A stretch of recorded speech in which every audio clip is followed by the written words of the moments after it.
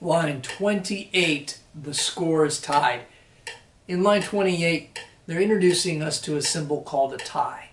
We've probably seen a tie before, but just to cover it again, a tie combines two notes of the same pitch. It's a curved line. It's not quite the same thing as a slur, because a slur connects two notes of different pitch, but a tie connects the two notes of the same pitch. It basically combines them into one note. So if you look at the blue shaded notes in line 28A, you'll see that those are a half note tied to a half note. That's going to sound just like a whole note would sound. Four beats of sound, two plus two, two half notes combined. Let's clap and count it. There is a repeat sign at the end. One, two, 28A, go. One, two, one, two, one, one, two, one, two, one, two, one, two, one, two, one, one, two, one, two, one, two. All right, let's go ahead and name the notes in position. Ready? Uh, since there's a repeat sign, let's go ahead and name the notes the first time, and on the repeat we'll fog. I'll play, you fog. One, two, name it. E flat, B flat, D, C, F, D, E flat, D, C.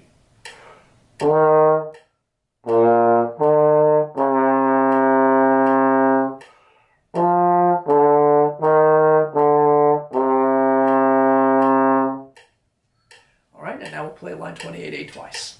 One, two, ready.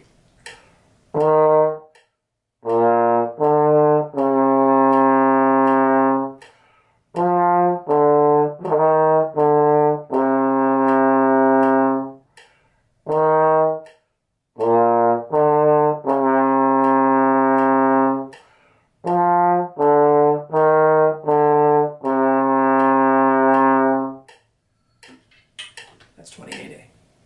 Now 28B is a little different. Let's clap and count this one.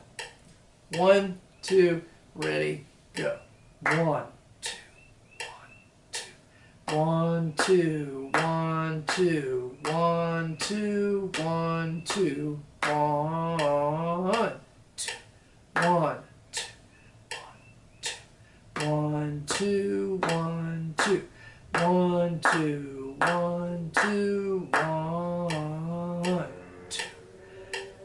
You'll notice that the whole rest in measure two only gets two beats. Whole rests we are funny because they take up a whole measure. Since it's two four time, it's two beats.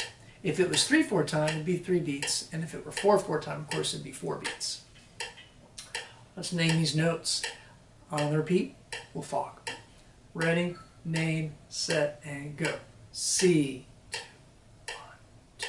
C, D, E flat, C, D, B flat, B flat, B flat, C.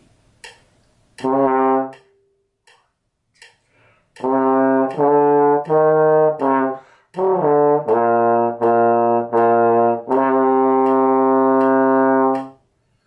right, and now we'll play it twice. Ready? Mm-hmm.